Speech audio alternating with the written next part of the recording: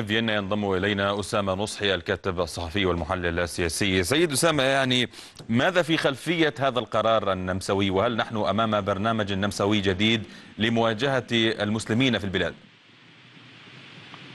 في الواقع أن القرار ليس مفاجأة فمنذ تولي الحكومة اليمينية اليمينية في, في النمسا وهي أعلنت صراحة أنها سوف تترصد الإسلام السياسي وده طبعا وليس المقصود الإسلام المعتدل ولكن كل الجماعات التي لها أجندة تستغل فيها اسم الدين ووجهت يعني تركيزها بشكل أساسي إلى الجالية التركية باعتبارها أكبر جالية أجنبية وهي أكثر الجاليات رفضا للاندماج كما أن المساجد التركية تحصل على تمويل ضخم.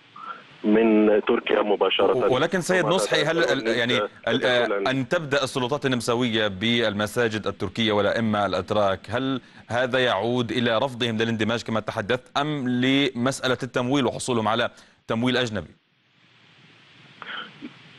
تعود بالأساس لحصولهم على تمويل أجنبي وده يعتبر خرق لقانون الإسلام الذي فرضته الحكومة في عام 2015 وقد أجرت تحقيقات سرية أثبتت إن فعلا أن الأتراك يصرون على الحصول على التمويل مباشرة من حكومتهم وهم يمثل يعني خرقا لقانون الإسلام.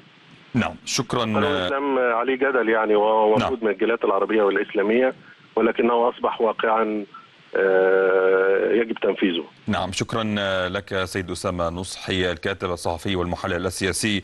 كنت معنا عبر الهاتف من فيينا.